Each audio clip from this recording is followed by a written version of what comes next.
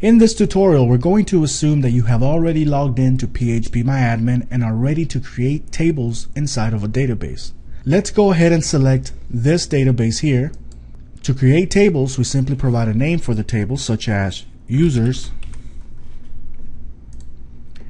and define the number of columns that we wish to use. In this case, we're going to choose 3. Once we are ready to proceed, simply press the Go button. Here you can see the table name.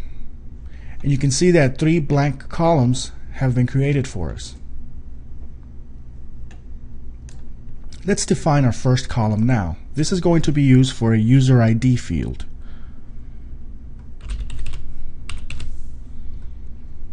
We're going to go ahead and leave this type set to integer. And we're going to tell it to be a length of uh, maybe four characters long.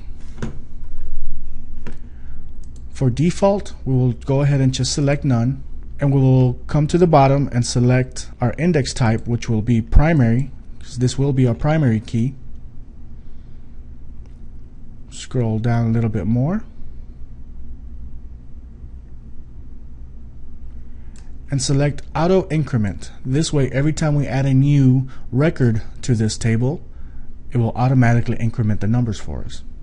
Now let's define our username column. This is going to be a character type.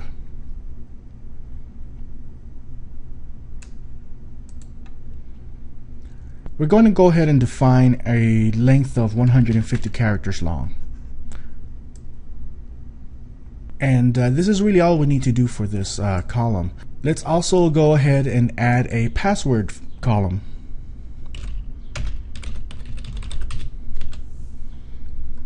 This too will be a character type.